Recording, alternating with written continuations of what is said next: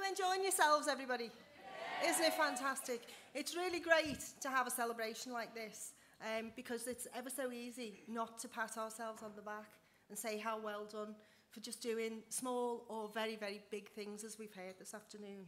And I'm very proud um, on behalf of 10,000 Small Businesses and the Centre for Enterprise to be able to be part of this today and to celebrate all the successes. I was thinking on my way here this, this afternoon, it's the last week in June. of those business owners, it's month end. So well done for being here this afternoon. yeah, well done. I'll get on with it. I'll get shouted at. So the award for uh, the Women Achievers Award goes to Jackie Rotherham.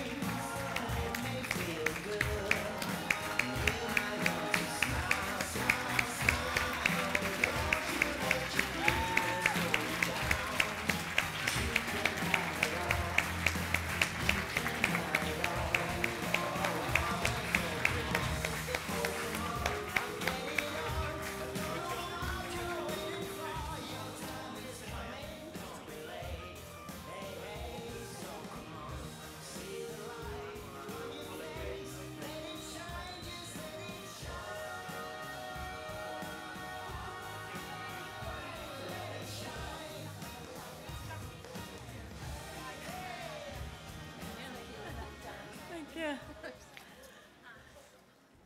Do you know what? It's such a lovely to celebrate disability because it's always seen as something death and dying, doom and gloom. It's nothing to be celebrated and nothing to be glad of. It was 30 years when I had my injury, and the pain has now a purpose, and the tragedy has become a triumph because I've been able to overcome with many barriers, of course. But I would like to thank all the wonderful women that I have met over the last 20 years of this role. Wonderful women that have inspired me, that I've learned so much from them. Women with physical, sensory, learning, and now mental health issues.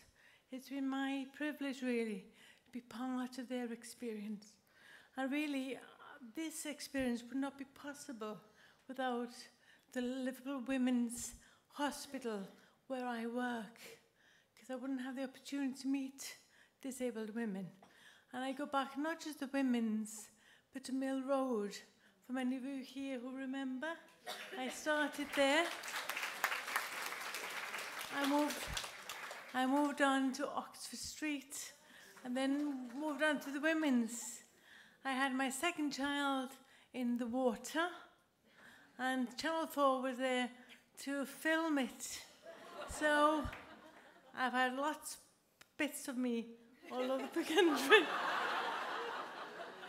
but you know what? It's an honour and a privilege indeed, and I'm so overwhelmed. Thank you.